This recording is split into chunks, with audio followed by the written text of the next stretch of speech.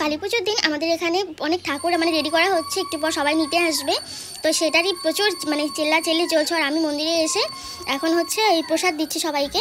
আমাকে বলছিল যে প্রদীপগুলো লাগিয়ে যা লাগিয়ে প্রসাদগুলো দিয়ে তারপর বাড়িতে যাবি। তো আর কি করব সেটা তো আমাকে করতেই হবে সেটা করছিলাম। কোনটা পড়বে মাম্মি? মাম্মি কেন কি কি? ও বাইরে বাইরে নিয়ে কোনটা পড়বে মাম্মি মনা? কোনটা কোনটা? কোনটা বলো? আমি কোনটা পরবো? কই? কই কই? দিস ওয়ান দিস ওয়ান কোনটা? এটা নো নো নো নো ওইটা শাড়ি না শাড়ি না। শাড়ি এগলা এগলা this ওয়ান হ্যাঁ?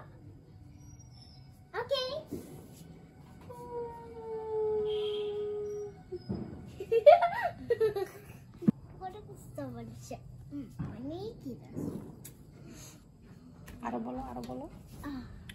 কোনটা কোনটা? এটা। সি। তো মাম্মা আমাদের দিদিভাইকে আর মাকে শাড়ি বের করে দিচ্ছিল। বলছিল দিবালির দিন রাতের বেলা একটু ঘুরতে যাব। তো আমরা ভেবেছিলাম ঘুরতে যাব কিন্তু তারপর আর ইচ্ছে করল না শাড়ি শাড়ি বের করার পরও আর গেলাম না কোথাও। তো এমনিতেও রাত্রি হয়ে গেছিল প্রচুর তারপর আর বেরোয়নি। আর মামামকে নিয়ে তো আজকে বেরোবো না আমাবস্যার রাত নাকি হয় সেটার জন্য মামামকে নিয়ে বেরোবো না। তো ওই যেতে চাইছিল তো ওকে ছেড়ে কী করে যাব সেসব কারণে আর যাওয়াই হলো না।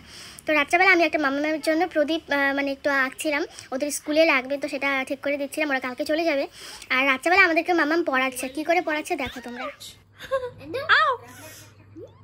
আও! সই সই সই চুপ হয়ে যাও। ওকে চুপ হয়ে যাও।